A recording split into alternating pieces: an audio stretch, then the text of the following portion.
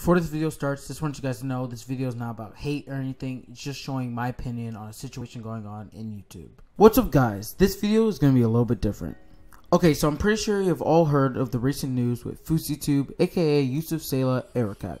If not, here's a quick recap. Fousey held an event on July 15th. His message is to spread positivity and all types of positive message type stuff. Well, in the process of making this whole positive outlook on life movement, Yusuf has been back and forth on his channel talking about depression and suicide and drug abuse and just a lot of things that I'm not going to fully go over in this video. But let's get back to the main point. I've been watching FouseyTube and all of his side channels since like forever. But recently he has gone a little bit over the edge. Yes, Fousey has been the continuous mission to better himself and spread positivity, but at the same time he's created obstacles for himself that he has not probably ever intended to happen. Number one, the ego. Fousey constantly preaches against hate and negativity, but once he is pushed into a corner, basically, he starts going up about things about how he owns cars and all these houses, just basically showing all his wealth. How many fucking movies have I been in? My mentor is Tyler Perry. I just crushed the fucking world on July 15th. I bought my mama house, Sam.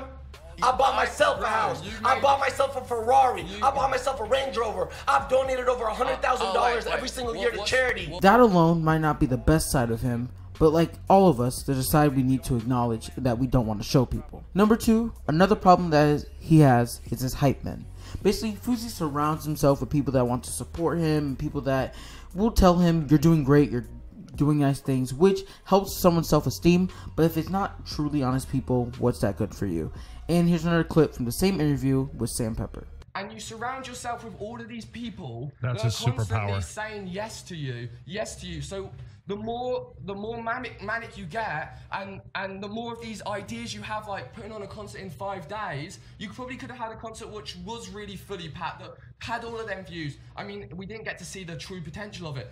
In the last two clips, you can obviously obviously see how angry he gets and how irritable and how his constant demeanor about making people feel bad is like constantly there, but at the same time, he'll be like, "I love you." What I think Fousey needs to do is stay away from the cameras and the limelight and everything included. And yes, I already know there's gonna be people in the comments saying he's already done that, Chrex. He's better now, and blah blah blah. Well, the truth of the matter is that Yusuf needs help, whether it's psychiatric or whatever, but he needs someone t- to help him and possibly even be over and done with YouTube. Because right now, he's just on the path to self destruction. You saying Fousey is the biggest piece of shit, egotistical asshole on this earth. I have bipolar and depression.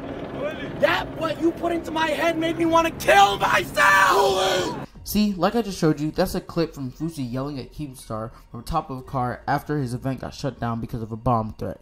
Yes, anyone will be upset that their event got shut down, but at the same time, you can see he's openly just yelling and ecstatic, but at the same time, it's like almost in a scary type way. So all I'm gonna say and to end this is that Yusuf, I'm praying for you, man. You need to get some help, figure something out. If you guys do agree with me, make sure you guys comment down below, like and share this video so maybe he actually sees this and understands that man, this is just not the way to go. And if you guys want to, I'll put in the description Keemstar's version of the entire event as well.